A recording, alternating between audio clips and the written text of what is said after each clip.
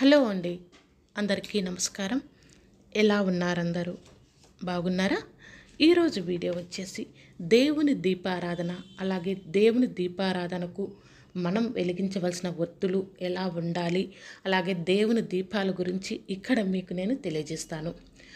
అంతకన్నా ముందుగా ఒక చిన్న రిక్వెస్ట్ అండి. ఫస్ట్ టైం ఎవరైనా మన ఛానల్ని చూస్తున్నట్టయితే ఛానల్ని సబ్స్క్రైబ్ చేసుకోండి. అలాగే వీడియో అనేది ఖచ్చితంగా లైక్ చేయండి. అలా చేయటం వల్ల నా వీడియో అనేది ముందుకు వెళ్తుంది. కాబట్టి ఖచ్చితంగా ఒక చిన్న లైక్ అనేది చేసినట్టయితే నాకు చాలా సంతోషం. అలాగే నా వీడియో ముందుకెళ్ళడానికి కూడా ఆస్కారం ఉంది. ఇప్పుడు మనం వీడియోలోకి వెళ్ళిపోదాం. ముందుగా దేవుని దీపాలు. హిందూ సంప్రదాయం ప్రకారం ప్రతి ఒక్కరి ఇంట్లో కూడా దేవుని దీపాలను వెలిగించడం సర్వసామాన్యం.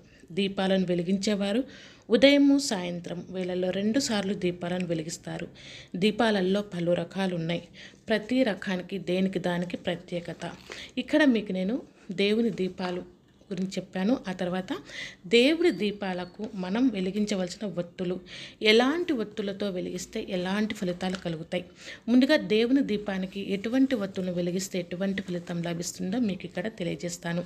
శుద్ధమైన పత్తితో చేసిన ఒత్తులతో దేవుని దీపాలను వెలిగిస్తే ఆ ఇంట్లో పితృదోషాలు నివారణ అవుతాయి అలాగే దైవ భక్తి కూడా వృద్ధి అవుతుంది. తామర తూడలతో ఒత్తులను చేసి దేవునికి ఉపయోగిస్తే ఆ ఇంట అఖండ సౌభాగ్యం అలాగే అఖండ భాగ్యం అప్పుల బాధ నివారణ అవుతుంది. అలాగే శ్రీ మహాలక్ష్మీదేవి అనుగ్రహం ఎప్పటికి కూడా ఉంటుంది. శ్రేయస్సు కూడా కలుగుతుంది. అలాగే అరటి నారతో చేసినటువంటి ఒత్తులతో దీపాలను వెలిగిస్తే ఆ ఇంట ఉత్తమ సంతతి కలుగుతుంది. పెద్దల శాపాలు తొలగిపోతాయి. కులదేవత యొక్క అనుగ్రహం కూడా ఎప్పటికీ కలుగుతుంది. అలాగే మనస్సుకు శాంతి కూడా లభిస్తుంది. అలాగే ఇంకొకటి వచ్చేసి మీకు ఇక్కడ అరటి నారలతోనే కాకుండా తామర ఒత్తులతో చేసినట్టయితే చాలా చాలా మంచి జరుగుతుందని చెప్తున్నారు. అలాగే జిల్లేడు ఒత్తులతో గిన చేస్తే దేవుని దీపాలు వెలిగిస్తే ఆ ఇంట్లో అపార సంపత్తి కలుగుతుంది. దుష్ట శక్తుల పీడ కూడా తొలుగుతుంది. శ్రీ గణపతి దేవుని అనుగ్రహం కూడా మనకు కలుగుతుంది. అలాగే పసుపు రంగు బట్టతో కొత్త బట్టను ఒక అంగుళం మేర కత్తిరించి దాన్ని పసుపు నీటిలో నానబెట్టి దాన్ని ఆరబెట్టి దానిని చేతిలో అద్ది దేవునికి దీపాలను వెలిగిస్తే లక్ష్మీదేవి కటాక్షం కలుగుతుంది. జఠర ఉదర వ్యాధులు కూడా తొలగిపోతాయి. అలాగే కామెర్ల రోగం త్వరగా నయమవుతుంది.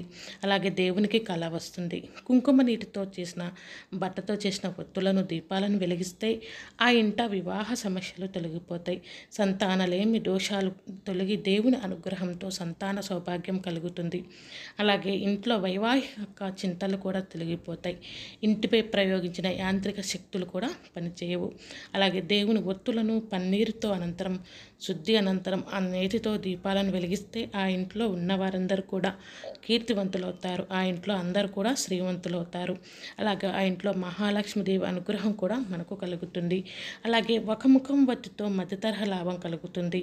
అలాగే ద్విముఖ వత్తితో కుటుంబంలో సఖ్యత కలుగుతుంది. అలాగే త్రిముఖ వత్తితో సంతాన భాగ్యం ఉత్తమ సంతానం కలుగుతుంది. అలాగే చతుర్ముఖ వత్తితో ధన సంపత్తు ఐశ్వర్య భాగ్యాలు కలుగుతాయి. పంచముఖ వత్తితో సంపద అధిక లాభం కూడా కలుగుతుంది. ఇలా మీరు మీ ఇష్టానుసారం అంటే మీకు ఎన్ని వత్తులు వేసి ఏ ఒత్తులతో మీకు చేస్తే మంచి జరుగుతుందో అలాంటి ఒత్తులతో మీరు పూజ అనేది చేసుకోవచ్చు. అలాగే దీపాలు కూడా రకరకాల దీపాలు కూడా వెలిగించవచ్చు. నందా దీపం నేతి దీపం నూనె దీపం పిండి దీపం నిమ్మకాయల దీపం నువ్వుల దీపం ఉసిరి దీపం జలదీపం ఇదండి ఈ వీడియో. నచ్చినట్టయితే ఒక లైక్ చేయండి షేర్ చేయండి. ధన్యవాదాలు.